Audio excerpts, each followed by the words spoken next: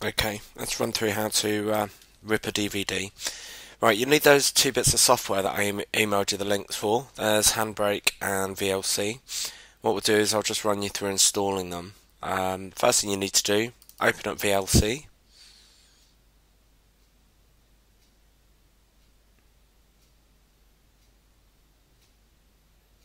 There we go. What you need to do is copy the VLC to your applications directory. You can see there's a shortcut to it on the left, so what you can do is just pick it up, drag it into applications and it will copy. Okay. Now, um, depending on how your users are set up, you probably have to authenticate as an admin user. Um, I'm just going to do that.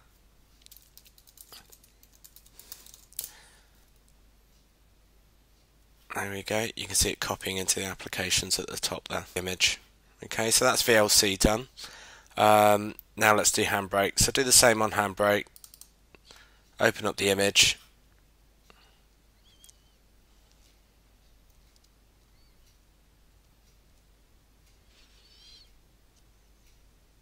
There we go.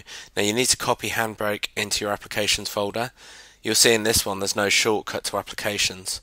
So what you can do is open another Finder window Alright, select applications on the left and then just drag Handbrake into it. Now again, um, you'll have, have to authenticate. So enter your admin username and password. There we go, and it will copy across. So it doesn't take too long at all.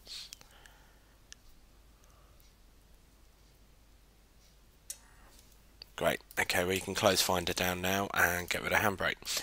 Now I've already put a DVD in my drive. It's that one there, Charm. It's one of my diving DVDs. What I'll do is I'll just show you how to rip that. Just get rid of those images. Okay, fire up Handbrake. Um, you can find it in your applications or you can just use um, Spotlight.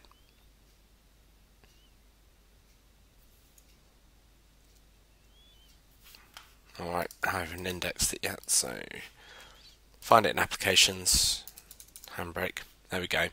So open Handbrake.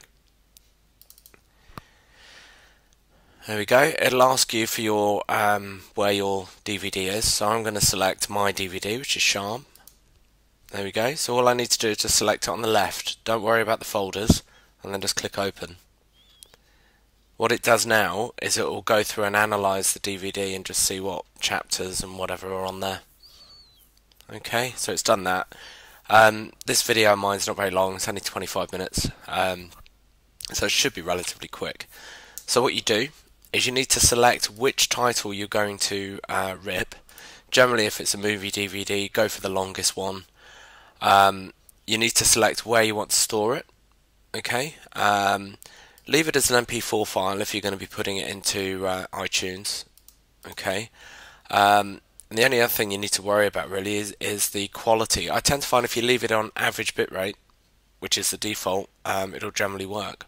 Okay, so once it's done all that, all you need to do is just go up to the start button at the top. So hit start.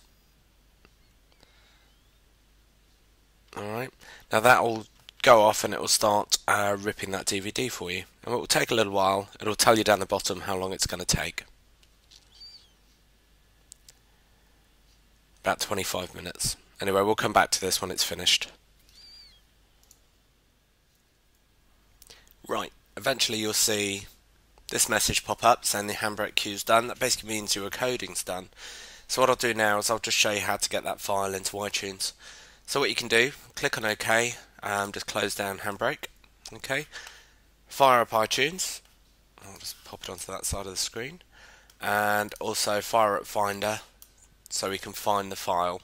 Now I put mine on my data drive, so if I look on there, you'll see that there's my file, Charm February 2010. Now that'll be whatever the movie is that um, you've just ripped. So what you need to do is just pick that file up and just drag it across to your iTunes library. Just drop it on.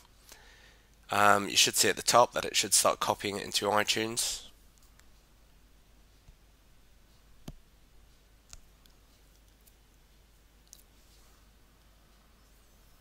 take a few minutes depending on how big the file is. There we go. And what you should find is it's under your movies.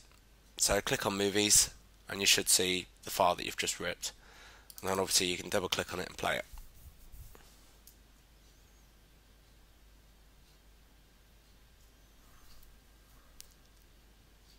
Now that format that it um, brings it in, um, let me just stop that.